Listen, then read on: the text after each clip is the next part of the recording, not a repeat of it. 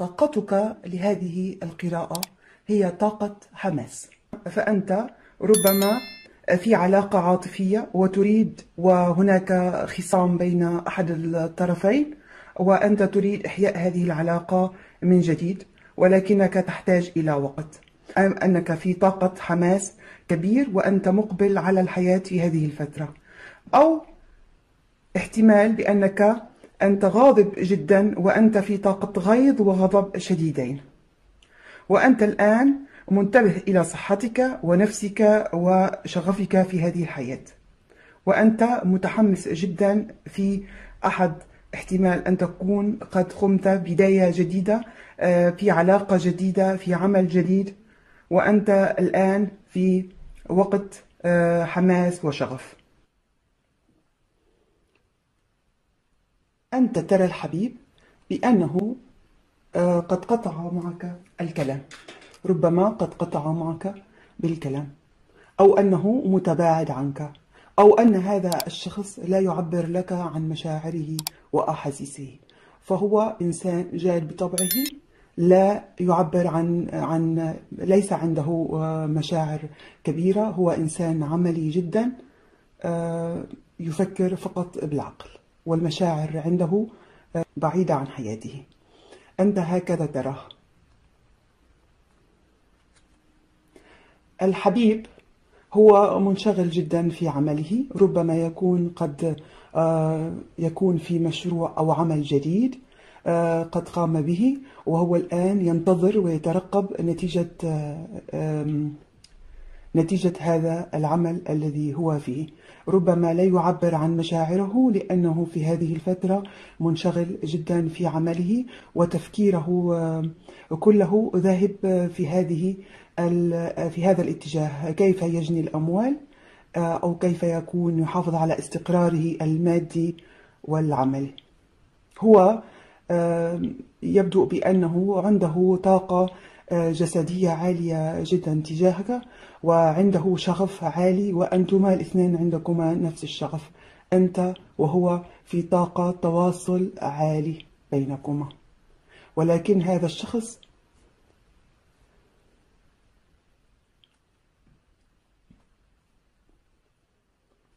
ولكن هذا الشخص أنا أراه جدا متعب. ربما قد مر في وضع آه، في آه، وقت صعب في حياته وهو تعرض آه، لخديعة لإدمان لضرب في الظهر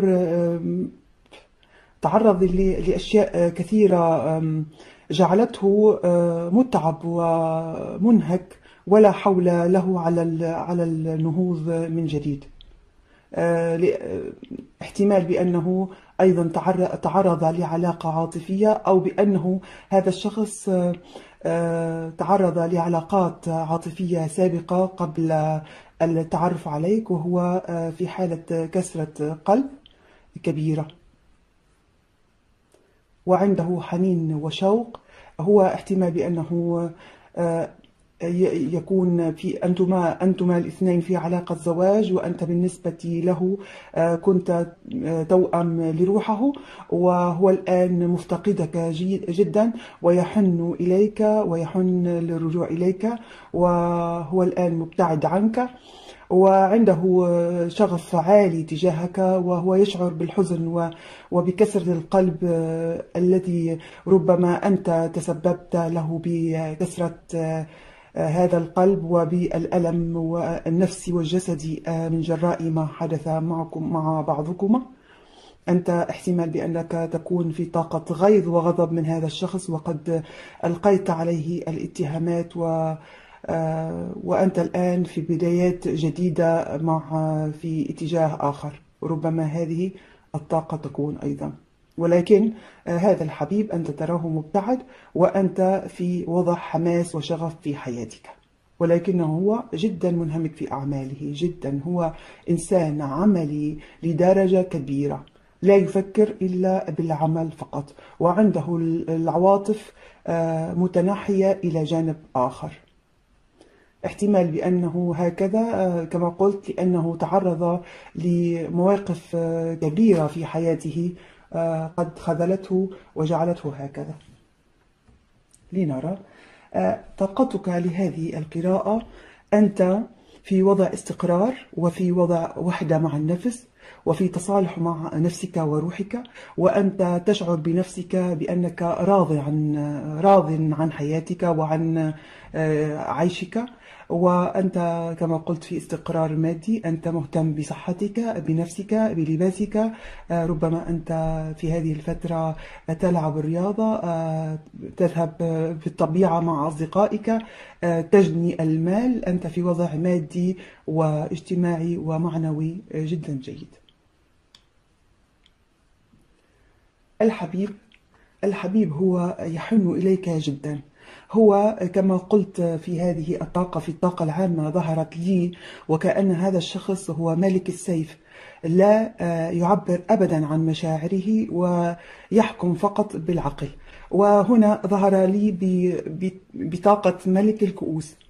هذا يعني بأن هذا الشخص في مكانة مرموقة وهو جدا حساس وعنده مشاعر آه، جياشة باتجاهك. هو يحبك جدا ولكنه لا يعبر عن مشاعره أبدا باتجاهك. هو هذا الشخص إنسان عقلاني إلى للغاية بالمناسبة هذه الأبراج معنا برج العذراء برج العقرب.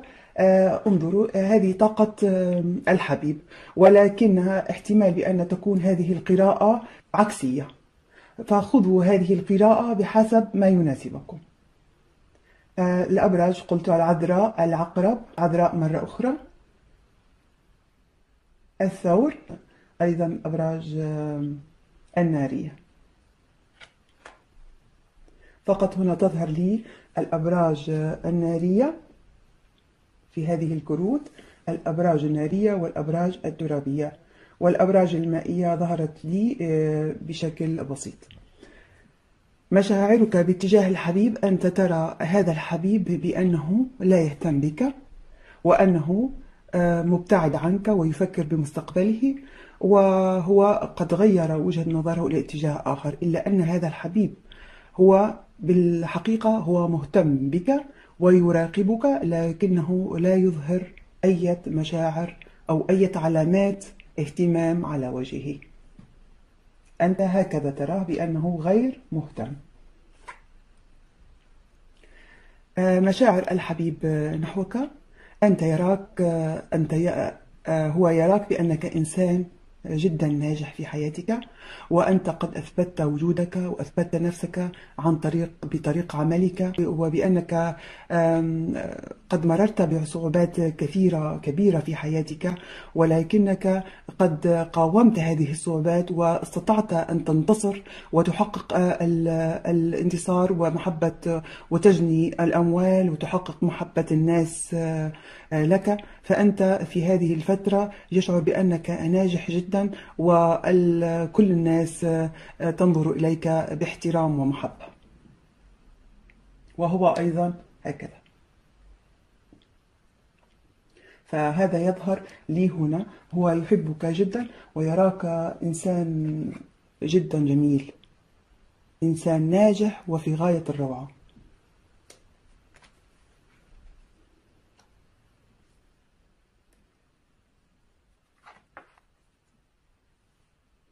نوايا الحبيب هو ينوي الانتظار. هو ليس عنده نوايا حالية. هو لا يريد أن يتقدم لك بأي خطوة حتى الآن.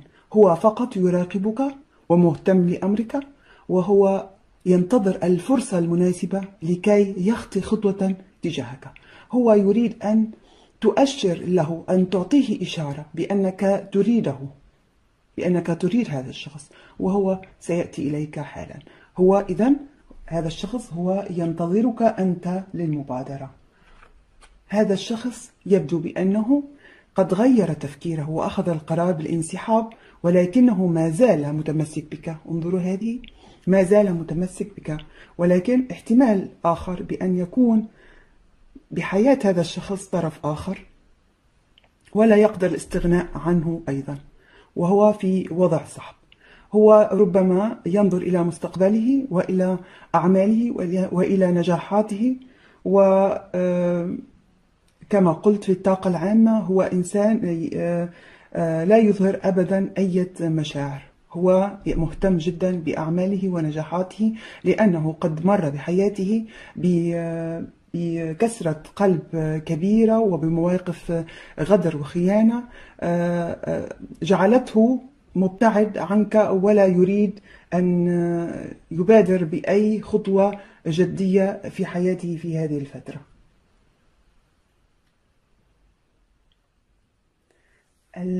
مصير هذه العلاقة مصير هذه العلاقة هو الترقب. كما قلت والانتظار. هذه كروت تدل جميع هذه الكروت تدل تدلنا على أن هذا الشخص فقط يريد أن ينتظر ويترقب. هو متمسك بك جدا وهو يعرف قيمتك ويعرف بأنك إنسان جدا ناجح وهو جدا يحبك أيضا. في هذه لا عنده مشاعر كبيرة باتجاهك و وهو يرى يعرف قيمتك جيدا وهو يريد أن يتمسك بك في قلبه وعقله ويحافظ عليك وفقط يريد أن يظهر لك اهتمامه ولكن عن بعيد من بعيد. لا آه، لا يريد فقط يريد هو أن يراقبك من بعيد. أن يراقبك. فكروت المراقبة أو الانتظار ظهرت لي في أكثر من بطاقة. في هذه البطاقة آه، شاب السيوف وهذه البطاقة وهذه البطاقة أيضا. آه، فهو الآن نتيجة هذه القراءة لهذه الفترة في الفترة القادمة في العشر أيام هو لا ينوي على عمل أي شيء آه، سوى المراقبة والانتظار. ربما تأتي إليه بخطوة وهو هو سينتظر منك آه، أي أي إشارة ليتقدم بسرعة ويأتي إليك. إذا هو لا يريد أن يعمل أي خطوة من من ناحيته. أما إذا كنت تريد أنت أن تقوم بأي خطوة تجاه هذا الشخص فهذه تدلك هذه نصيحة لهذه القراءة. انظر إلى هذا الشاب إنه آه، مسافر إنه قد غير طريقه قد ذهب من هذا المكان ويريد أن انتقال إلى مكان آخر آمن بالنسبة له ومريح أكثر. بالنسبة له وهذا القرار بيدك. إذا كنت تريد هذا الشخص أن يرجع أو يعود إليك فأنت بإمكانك أن تغير طريقة تفكيرك أو طريقة اتجاهك وبدل بأن تسافر تبعد عن هذا الشخص اذهب إليه. فاحتمالين. هذه القراءة آه، تأخذ احتمالين. هذا القرار يعود لك. أنت بيدك. أن تذهب إلى هذا الشخص وتقول وتعبر له عن مشاعرك وتعبر له عن عن حبك الكبير له أو بأنك تذهب باتجاه آخر وتغير طريقك تماما وبتكون بذلك قد انتهت العلاقة وأنت الذي نهيتها بيدك. فالقرار قرارك. لنأخذ نصيحة لهذه القراءة.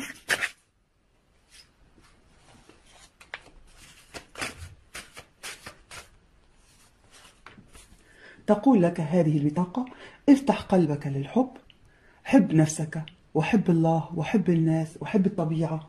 فأنت ربما قد تعرضت لكسرة قلب وأنت ربما تعرضت لخيبة أمل من هذا الشخص. والآن أنت في آه في أنا أرى بها أنا أشعر بهذه القراءة بأنها قراءة عكسية. وكأني أتكلم عن برج عقرب الذي أتى في طاقة الحبيب. وممكن أن نأخذ هذه البطاقة أيضا نصيحة هذه البطاقة لك برج العقرب آه، بحيث أنك في طاقة آه، الحب الكبيرة هذه. آه، فتقول لك هذه البطاقة افتح قلبك للحب وحب نفسك وحب الله وحب الناس وحب الطبيعة. ربما أنت تكون قد غدرت في هذه في الفترة القادمة وتعرضت لخيبات أمل كبيرة في حياتك. ولكن تقول لك افتح قلبك للحب وحب كل الناس. ليس الحب هو الحب الرومانسي إنما الحب الذي يعطينا الأمل والتفاؤل بهذه الحياة. أن نفتح قلبنا للحب ونعطيه لكل من حولنا لأولادنا لعائلتنا لأصدقائنا لكل من حولنا. فهذه المحبة ترتد علينا بالإيجاب وتعطينا الطاقة الإيجابية. وهذه تقول بأنها أيضا افتح قلبك للحب. لا تبعد عن هذا الشخص وافتح قلبك للحب وحاول أن تقوم بخطوة جدية باتجاهه. وهذه هي البطاقة تقول لك عبر عن نفسك أكثر وكن جريئا. قم بالتعبير عن حبك أنت تحب هذا الشخص وتريده فقم بالتعبير عن هذا الأمر عن حبك. وكن جريئا ولا تخاف فأنت هنا في موقف آه، خوف آه، وقلة ثقة بردة فعل هذا الحبيب. كن جريئا وقم وتقدم بالخطوة إلى هذا الشخص. تقول لك هذه البطاقة love yourself first. حب نفسك آه، بالأول. حب نفسك قبل أن تحب أي شخص آخر. حب نفسك. آه، ثم حب الله وحب الطبيعة وحب كل كل شيء في هذه الحياة. فمحبتك لنفسك تعطيك جاذبية أكبر وتجعل الناس من حولك ينجذبون إليك. فبالبداية يجب علينا أن نحب أنفسنا قبل أن نحب أي شخص آخر ولا نعطي أي شخص قيمة أكثر من أن نعطي قيمة لنفسنا بالأول. هذه البطاقة تقول لك أطفال ربما أنت وهذا الشخص في علاقة زواج وبينكما أطفال أو أن هذا الشخص عنده عقدة من الطفولة عقدة عقدة مال عقدة عواطف.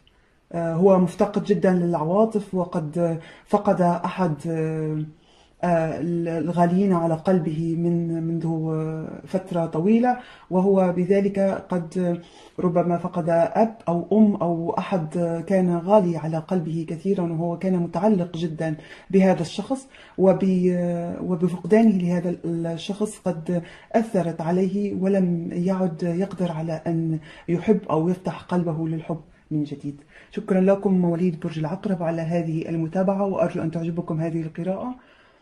وأرجو أن أراكم في فيديو